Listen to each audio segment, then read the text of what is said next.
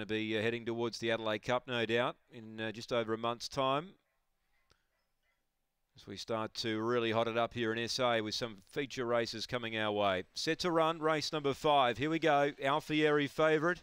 Ready.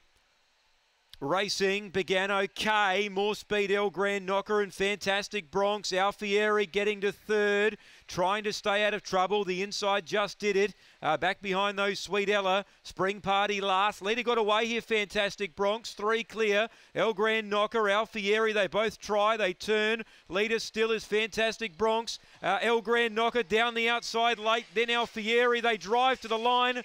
Fantastic Bronx, I think, from El Grand Knocker. Alfieri gets rolled. Uh, then came Spring Party. Sweet Ella just did it last in. Oh, fantastic. Bronx, I feel, has held on here from El Grand Knocker and Alfieri. 25 and 40 the time will be. Photo finish. Fantastic Bronx uh, clinging on, gets the result. Number one, Richard Stasiak.